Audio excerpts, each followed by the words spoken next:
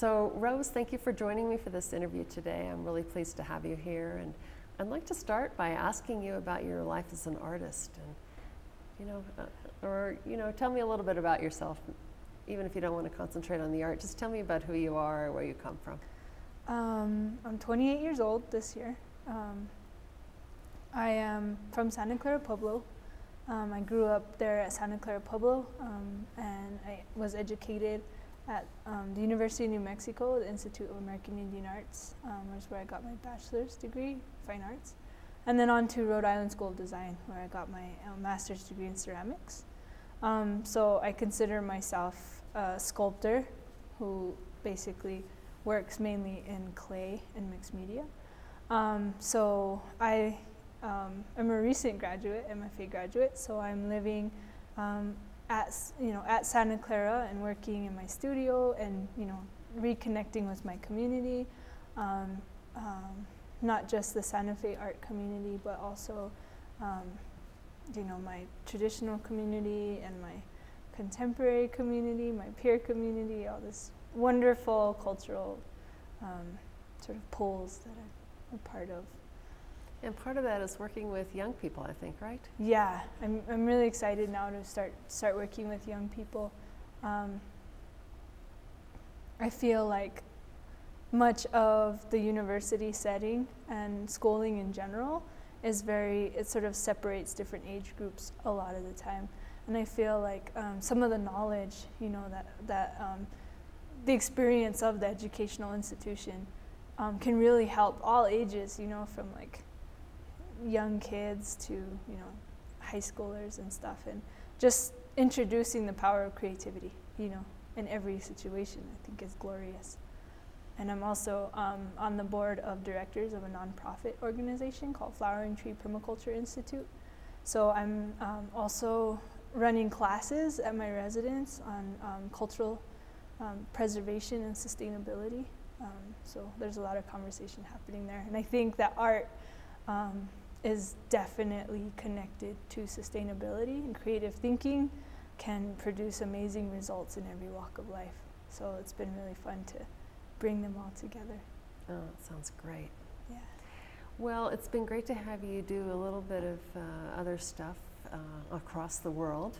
I was glad that you could participate or answer this invitation we had from the city of Icheon, South Korea to attend their big ceramics festival and to probably, I hope, get some inspiration there as well as giving a little of, your, little of yourself to the community that was participating in the festival. And it would be um, a lot of fun, I think, for our audience to know what that experience was like and what you're thinking about as you reflect back on it now that it, you've been back for what a, six weeks or eight weeks something like that yeah wow um, i would say that um, the experience really changed my life. Um, and i feel like i even though I had I have stud I had studied in Japan ceramics specifically, so I had been to to um, I guess the region, and um, so I sort of understood a little bit of the history of the ceramics in the area, um, but I was I sort of released my expectations to sort of be open to what I could sort of take in from the experience, and um, I was totally humbled and amazed and changed from it, really. Um, coming from an incredible legacy of ceramics as a Pueblo person and being coming from a family that, you know, um, has worked in ceramics for hundreds of years and that being a lifestyle.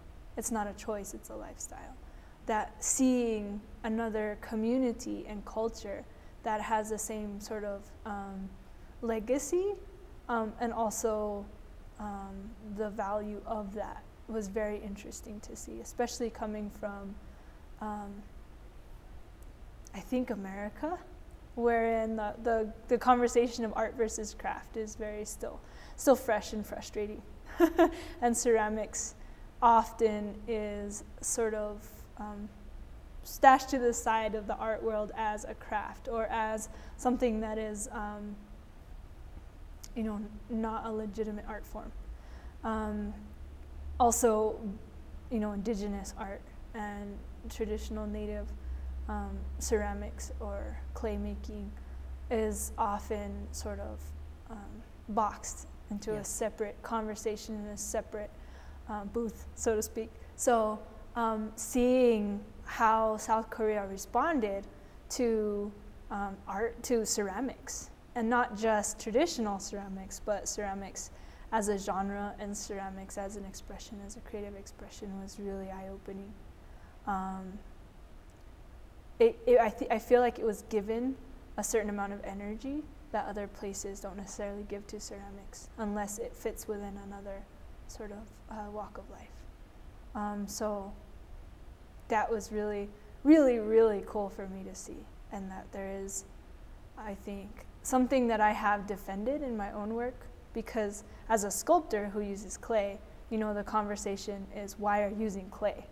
You know, when you could use wood or you could use metal or you could use glass or you could use whatever you come across, really. And that clay is, to me, a very important material um, because of its connection to culture and community. And yes. its expression has a sense of immediacy and honesty, I feel, um, because of the process. So, um, seeing how they approached ceramics and not just traditional ceramics, but I mean, the festival at Icheon there was just blew my mind. It really did. And, and um,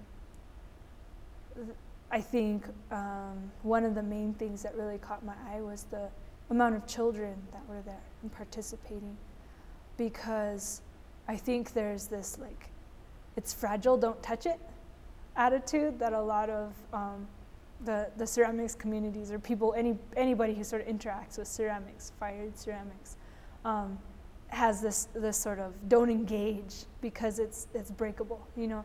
And these kids were running around holding like very expensive pots and tea bowls and stuff. And, and, you know, the parents would look and see the kid like pick it up, play with it, and put it back.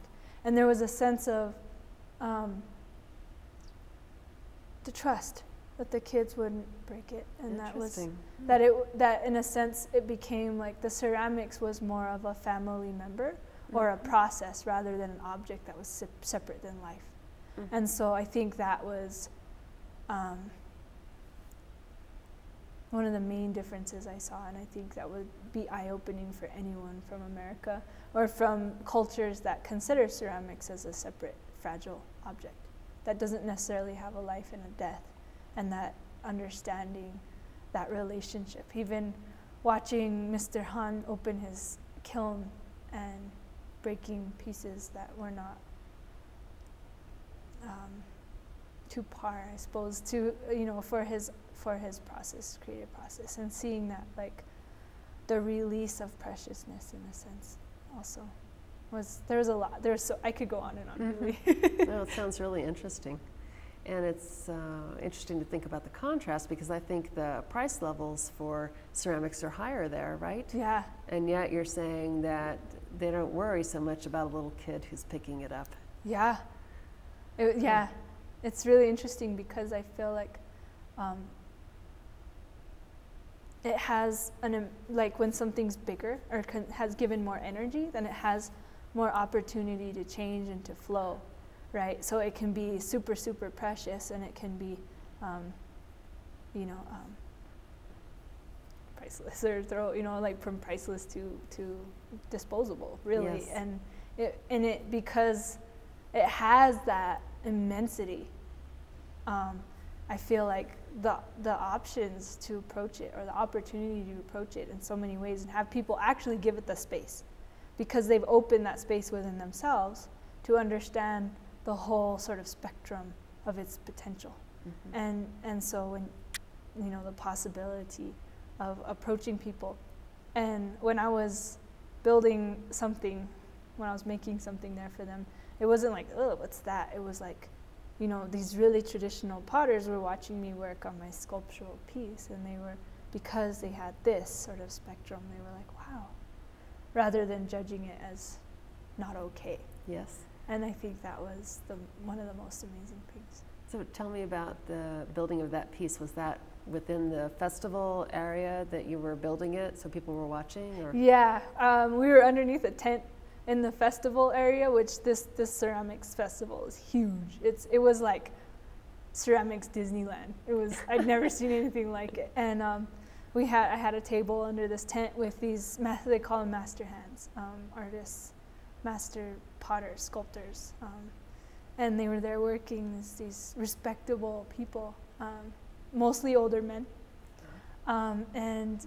Uh, so Heidi Loewen and I had our separate little booths that we were working in, um, and I had made friends by that time with uh, the the um, inter or the what are interpreter or no the one um, of the city? students at the at the place the residents Oh, okay. at the place. Mhm. Um, so we met like the up and coming sort of contemporary artists there in ceramics, and we hit it off, Yes, so to speak. Uh-huh. And so we were all hanging out there, and they brought us clay, and um, I started building a piece, and um, the table immediately got surrounded by little kids.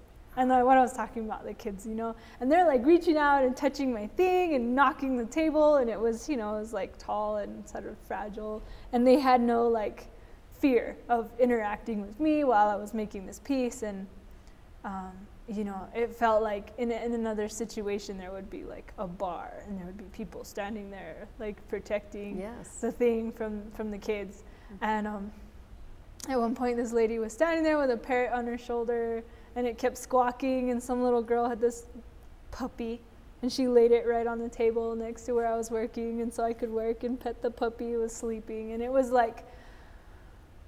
It was a great experience. It was just glorious. I had so much fun and it was you know everybody was there and like really interested and um, you know excited and the energy was it i love it when the preciousness like disappears and it becomes more of an interaction and a relationship rather than objectified distance and that was beautiful truly Oh. wonderful I'm glad it was such a good experience. yeah and i left the piece there with one of the residents to finish i was like Oh. because I, cou- I didn't have the time to you know wait for it to fire and then finish the piece so i was like left it with her and i said here fire it do whatever you want with it So- Mm. have you heard anything back about what happened? uh, we were we, we were talking about it over the phone a few days Yes. back Oh, okay. so we'll see what she does ah, that'll be interesting. Yeah. I hope you get a picture to yeah share. yeah absolutely That'll be I'll, good. I'll um, bother her about it Yes, okay, good. We could use that, uh, just uh, another nice um, physical reminder of these exchanges like the one between Heidi and Mr. Hahn. absolutely Heidi Loewen and Mr. Hahn, uh, who was here last summer and threw pots, which she, she then finished. absolutely Yes. yeah So. Well, if she, when, I'm going to say when she comes, um, we will, she'll make something for me to finish. yes, and maybe we can continue that way. that'll be great. yeah. Oh, good. So the visit, I know, included participating in the ceramics festival. Did you get to do some other things in Mm. Icheon, or was it mostly centered around the festival? It was mostly centered around the festival. Mhm. Um, we did lectures, uh, slideshows um, of our work. Mhm. Got to see slideshows of other people's work, Mm. um, and not not just um, I would suppose like artistic ceramics, but also um, like mechanical ceramics and stuff like that, Yes. which was really interesting. Um, we um, ch- checked out the festival, which I'm sure you'd have to have several days of time just purely dedicated to seeing all the wonderful booths Mhm. um, and meeting all the great people.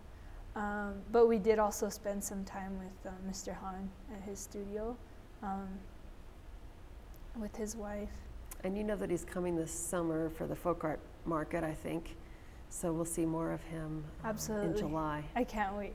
Yes. He's one of my favorite people in the whole world. Oh, great. Yeah, I'm glad to hear that. truly, truly wonderful person. He's an incredible potter, isn't he? Yeah, I have um, I actually got um, pictures of him throwing and also a short short film I made with my camera of Oh, and I keep watching it because of his how would I say like the because throwing is very much um, a relationship and a present relationship with clay and space and Uh-huh. form and weight and all kinds of cool stuff and he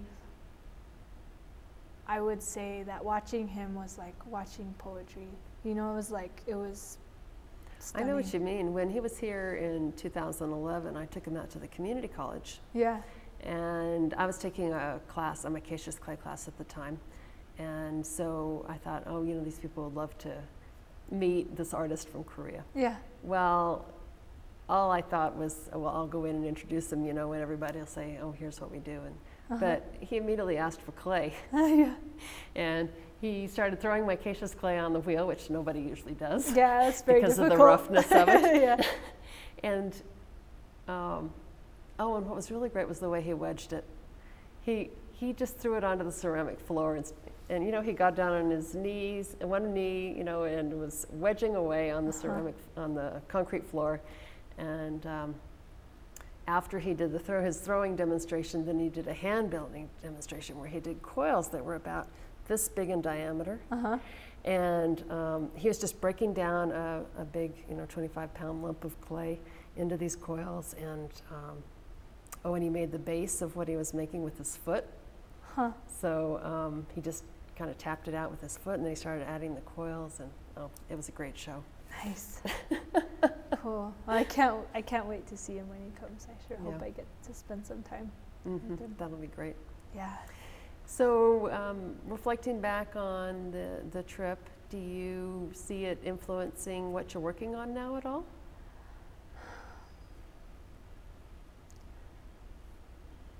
I know. Well, I can't. I can't say it. It didn't change change Yes, me for yes. sure. Um, I think mostly. Um,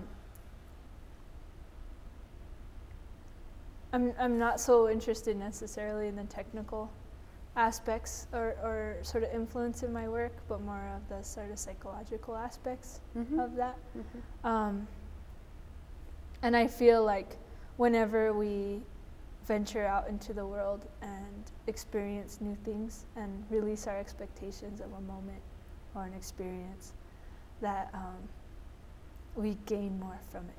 And I think that my my trip to Korea or South Korea and and the ceramics festival and the wonderful people who showed us around and took care of us and fed us so much food, the most wonderful food. um, that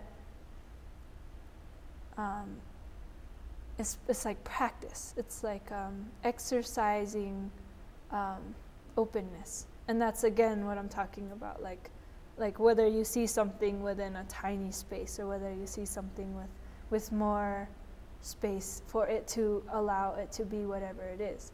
And um, what I was realizing was that um, the relationship that I built with people there, um, and then how I let that affect me and change me, was a practice in sort of courage, you know, and that that like curiosity to learn something new and to be vulnerable enough to take that in and to let that change you, you know. Um, was it's it's scary. It can be very scary. And if if I had approached this experience with I'm Rose and I already know everything and I and I um, I have my preconceived notions on what I will experience and who I will meet and and that's you and this is me and that's your stuff and my stuff um, rather than allowing myself to sort of dive into the pool of experience and let it sort of change me and my on a cellular level rather than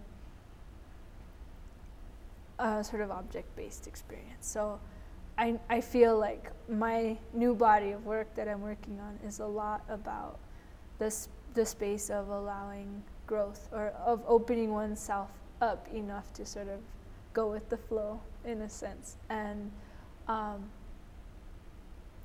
because I went with the flow at times I feel like I was moved to tears and if, Mm. if I hadn't allowed myself to listen and pay attention and watch on a higher level, that it wouldn't have changed me the way that it did. And to the point that I like cried all the way home. um, so I feel like that is the power of creativity and the power of, of creative expression and art, you know, is that like that suspending disbelief, you know, where you uh, you, you put aside all your all of everything you expect and just let it come in this in whole new ways and even I had been to Japan and yet my experience of the world was nothing that I would ever ever imagine. So um, that's how it changed me I feel and that's how it changed my work. And it really I came home and I was like I have met the most amazing people and I have something inside my soul has changed because Did it want to make you get into the studio with your hands on the clay? Yeah, it made me want to like sit in my studio and and smile Uh-huh. more than anything of just like this how can I make this fun again? How can I make life like the like the jump into whatever and and enjoy it. Oh, that sounds good. I'm glad. So you'd recommend it to other people? Oh, most definitely. I feel like every time that you're taken out of your comfort zone Mhm. and you allow yourself to be uncomfortable, that that uh, that we can grow. It's true. Yeah. It is. It's sometimes hard to go somewhere and experience new things and eat strange foods and Mm-hmm. be surrounded by people you don't know, but it does have an effect on you that's positive. Yeah. Yes. It's like the fear of like just absolutely falling in love with something that Uh-huh. is totally strange and weird, Yeah, and yeah, far away, and you don't even know how to communicate in yeah. language. Well, I'm so happy to talk to you and know that the UNESCO Creative Cities Network um, that we belong to is really making a difference for individuals who are getting this chance to go other places and meet other people. I'm really hoping that that's going to grow and that we'll have more and more of these kinds of exchanges happening and um, more people feeling like they've uh, learned something that's life and, and become changed in a way, like you say, that you were. So, um, Absolutely. so thank you for taking the time because I know it was not easy when you have a busy schedule and other priorities and so forth. Um, glad you could make the time to go and uh, accept that invitation from Icheon. Yeah. And uh, we're ever so grateful to Icheon, of course. I hope some people in Icheon will see this uh, interview and, and understand what a great thing it was for you. hmm Um, and I'm sure some people in Santa Fe will see it and be interested in everything that you had to say because um, uh, you're so eloquent, Rose. you are so thoughtful. And I can't wait to see this new body of work that has this thought going into it. Well, maybe um, Mr. Han, when he comes this summer, will be able to see some of the work that he inspired. Oh, that would be nice. Yeah. All right, well, thank you so much for taking the time to do the interview. Thank you. And good luck with all of your projects this summer. And uh, I look forward to getting back in touch with you as soon as Mr. Hahn gets here. Absolutely. Okay, cool. Thank you, Sabrina. you're welcome.